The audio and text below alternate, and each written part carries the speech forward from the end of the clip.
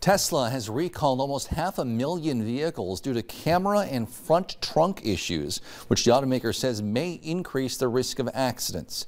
Two separate recalls are in place. One impacts Model 3 cars between 2017 and 2020.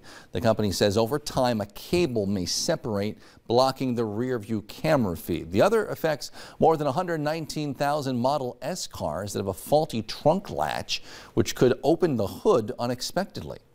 The CDC is now recommending people avoid cruise ship travel. The agency issued that travel health notice today, upping their level of concern from a level 3 to a level 4. It's their highest. The CDC says even fully vaccinated travelers may be at risk of either contracting or spreading COVID-19. And if you do plan on going on a cruise, the CDC suggests getting a test one to three days before and three to five days after, regardless of your vaccination status or symptoms, and also to wear a mask while on board may be tough to find some of your favorite bubbly as you prepare to ring in the new year. The reason, pandemic-related supply chain issues, a poor grape harvest, and booming demand, all sending champagne prices skyrocketing.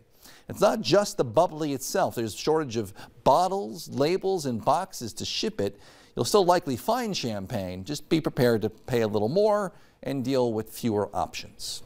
Stay with us. We're back with one final look at your forecast after the break.